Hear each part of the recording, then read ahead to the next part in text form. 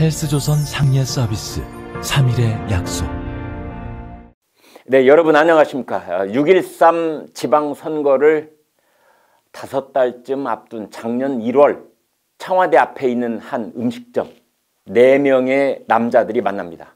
민주당 울산시장 후보 송철호 씨 그의 선거 캠프에서 정책 관련 중책을 맡게 되고 뒤에 부시장까지 되는 송병기 씨 캠프의 핵심 참모였던 정모 씨 그리고 청와대 정무수석실 산하 균형발전 비서관실 행정관 장모 씨 이 네 명의 사내들이 약 1시간 정도 밥을 먹었다는데요. 이들이 나눈 얘기의 핵심은 울산시 공공병원 사업이었습니다.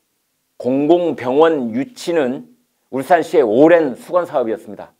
박근혜 정부와 한국당의 김기현 울산시장도 공공병원 유치를 하고 싶어 했습니다. 그러나 진전이 없었죠.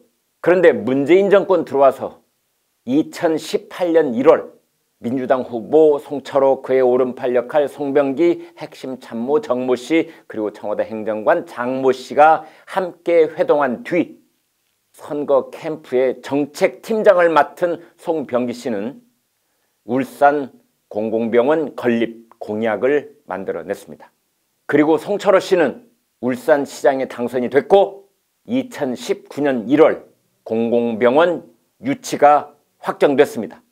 울산시 울주군 범서읍 굴화 공공주택지구에 2025년 개원을 목표로 자그마치 2,059억 원의 예산이 들어가는 대규모 사업입니다. 한국당은 거세게 반박하고 있습니다. 청와대가 송철호 시장의 출마를 충분히 예견할 수 있는 상황에서 공약 수립 등에 도움을 주는 것은 선거 개입이다. 청와대의 정치 관여 문제가 불거질 수 있는 소지가 크다.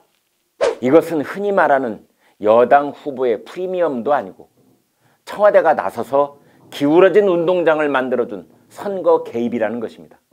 민주당 송철호 후보가 문재인 대통령의 30년 절친 이후 문 대통령이 형이라고 부르는 관계이며 문 대통령이 본인의 입으로 송 후보의 당선이 나의 소원이라고 할 정도였으니 대통령을 모시는 청와대 참모들이 송철호 후보의 당선을 위해서 조직적으로 움직였을 의혹마저 제기되고 있는 것입니다. 등장인물이 많아지고 사건이 복잡하게 갈래를 쳐도 중심을 잃지 말아야 합니다. 그것은 작년 6월 울산시장 선거에 대해 청와대가 하명 수사와 선거 공작을 했느냐 아니면 단순한 첩보 이첩이었느냐 이 점입니다.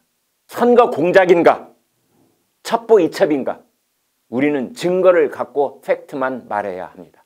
그런데 청와대의 거짓 해명이 너무 많아서 모두 짚어보기엔 시간이 모자랍니다. 그 중에 몇 가지만 추려서 말씀드리겠습니다. 첫째, 청와대는 민정비서관실 행정관이 부처 공무원으로부터 제보받은 것이라고 했습니다.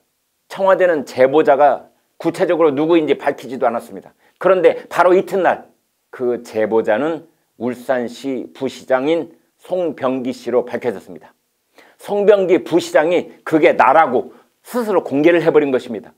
청와대는 제보자가 부처 공무원이라고 했으나 알고 보니 당시에는 민간인 신분이었던 울산시 전직 관리였습니다. 또 송병기 씨는 문모 행정관이 먼저 물어보길래 대답했을 뿐이라고 했습니다. 사실 이 대목이 매우 중요합니다. 청와대가 먼저 제보를 요청했다는 송병기 씨의 증언은 청와대 선거 개입의 중요 근거가 되는 것이기 때문입니다. 둘째는 문모 행정관이 작성했다는 김기현 울산시장 관련 비위 첩보 문건입니다. 청와대가 자신들의 입으로 윗분들 보기 좋게 편집해서 요약 정리했다고 했으니 그걸 근거로 수사가 진행돼야 합니다. 문모 행정관은 최초의 첩보를 어느 정도 가공했는가 하는 점입니다. 문모 행정관은 검찰 수사관 출신으로 범죄정보 분야 경력이 있는 사람입니다. 이 사람은 어떤 첩보를 추려서 갖다 붙이고 정리를 해야 그리고 그것을 어떤 표현으로 기술을 해야 범죄 구성 요건이 될 수 있는지 너무도 잘 알고 있는 사람입니다. 그래서 그가 첩보를 가공하는 과정에 법률적 판단을 덧붙였을 가능성을 따져봐야 하는 것입니다. 그가 만든 문건은 A4 용지 3장에서 4장 분량에 6개, 7개 의혹이 정리돼 있었다고 합니다. 관련 당국자들은 이 문건을 공개해야 합니다. 법조인들이 보면 그게 단순 첩보인지 아니면 야당 후보를 거꾸로 틀기 위해 교묘하게 가공된 기소장 수준의 내용들인지 금세 알 수 있을 것입니다. 이것은 직권남용 혐의, 공직선거법 위반과 직결되는 스모킹건 역할을 하게 될 것입니다. 사안이 이처럼 엄중한데도 청와대 해명은 하루 지나면 뒤집히는 사태가 반복되고 있습니다. 청와대는 송병기 부시장과 문모 행정관이 우연히 캠핑장에서 만났다고 했다가 국민들의 웃음거리가 되기도 했는데요.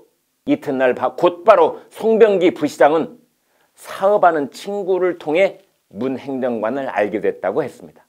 청와대는 처음에는 텔레그램이나 카카오톡 같은 소셜미디어를 통해 제보를 받았다고 했으나 송병기 부시장은 전화로 안부 통화차 대화를 하다가 희중에 떠도는 김 전 시장 측근 비리와 관련한 대화를 나눈 것이라고 했습니다.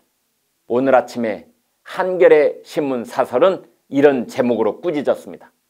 청와대의 어설픈 해명, 하명 수사 의혹 더 키웠다. 내용은 이렇습니다. 과연 청와대가 이 사안의 엄중함을 제대로 알고 조사를 한 것인지조차 의심스러울 정도다. 청와대의 해명은 의혹을 씻기엔 한참이나 부족했다. 청와대가 지방선거에 개입하기 위해서 경찰에 하명 수사를 지시했다며 선거 공작이란 주장까지 나오는 판에 이런 식의 청와대의 안이한 대응은 이해하기 힘들다. 조선일보는 팔면봉에서 한마디로 본질을 꼬집었습니다. 하루도 못 가서 뒤집히는 청와대의 선거 개입 의혹 해명 당사자들이 제 살 길 찾는 걸 어떻게 막겠나